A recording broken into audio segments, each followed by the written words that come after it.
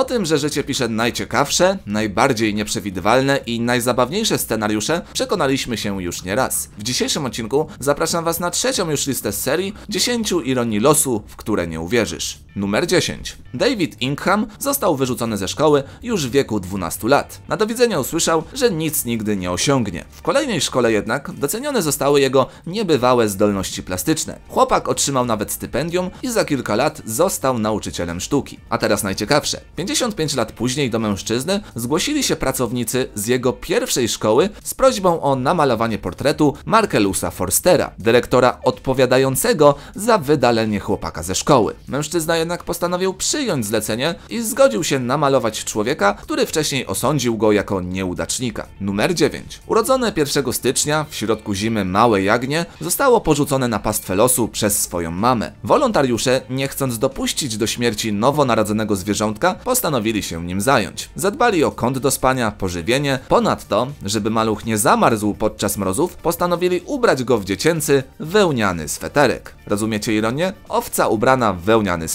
Musicie przyznać, że Jack Frost, bo tak sanitariusze postanowili nazwać jagnię, wygląda wyjątkowo stylowo, nosząc na sobie wełnę, być może nawet ze swojej mamy, która go porzuciła. Numer 8. W relacji kotów i myszy ofiarami głównie stają się te drugie, mniejsze i bardziej bezbronne gryzonie. No chyba, że przypomnimy sobie bajkę Tom i Jerry, gdzie średnio rozgarnięty kocur dostawał regularny łomot od przebiegłej kilkadziesiąt razy mniejszej myszki. To teraz słuchajcie. W japońskim schronisku w Oszawie doszło do pożaru, w którym zginęło prawie 100 kotów. Za sprawców incydentu podejrzewa się myszy, które najprawdopodobniej doprowadziły do tragedii, przegryzając przewody elektryczne. Numer 7. W Nowym Orlanie ratownicy zorganizowali imprezę na basenie, żeby uczcić wyjątkowo udany sezon bez ani jednego utonięcia. W imprezie brało udział blisko 200 ratowników. Wydawać by się mogło, że nie mogło być bezpieczniej. Jednak po imprezie, podczas sprzątania basenu, na jego dnie odnaleziono zwłoki 31-letniego mężczyzny. Tak, który utonął podczas imprezy. Dobrze tylko, że incydent miał miejsce już po zakończeniu sezonu, dzięki czemu nie wpłynęło to na dobre statystyki. Numer 6. Nieodłącznym elementem hiszpańskiego święta San Fermines jest encierro, czyli gonitwa z bykami ulicami miasta. W tak ekstremalnym sporcie ponoszenie obrażeń przez uczestników nikogo nie dziwi. Ironią jest jednak, że podczas festiwalu w 2014 roku ranny został niejaki Bill Hellman, współautor książki pod tytułem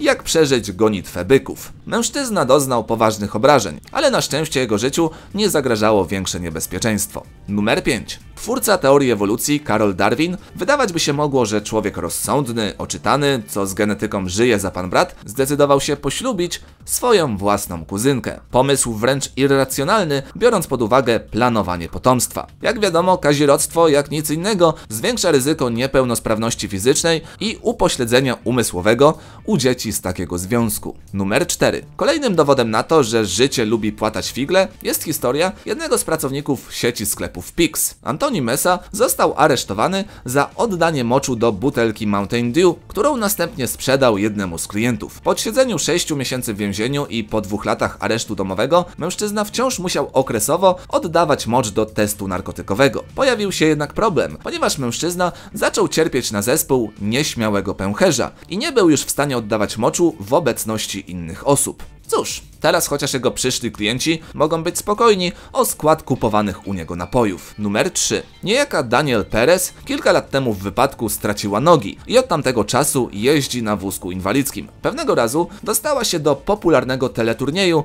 Price is Right, w którym jak na ironię wygrała saunę oraz bieżnię elektryczną. Ciekawe, komu było bardziej niezręcznie, jej czy prowadzącemu teleturniej. Numer 2. Znani dziś celebryci, zanim zrobili karierę, w większości przypadków podejmowali się zwykłych, codziennych prac. Na przykład taki Pharrell Williams, który zanim rozpoczął karierę muzyczną, pracował m.in. w McDonaldzie. Mało tego, swoich sił w maku próbował aż trzy razy. Niestety za każdym jego przygoda w firmie kończyła się tak samo. Zwalniali go, bo był zbyt leniwy. Sam Williams przyznaje, że jedyne co wychodziło mu w tej pracy to jedzenie na nuggetsów. Jednak kilka lat później, razem z Justinem Timberlake'em, stworzył singiel I'm Lovin' It, który na tyle spodobał się firmie McDonald's, że ta postanowiła wykorzystać go w swojej kampanii reklamowej. Jak widać, kariera z firmą była mu pisana, tylko zabierał się za nią od złej strony. Numer 1. Jonathan Lee Righteous zasłynął z tego, że w ciągu kilku lat złożył ponad 4000 pozwów sądowych, oskarżając m.in. George'a Busha,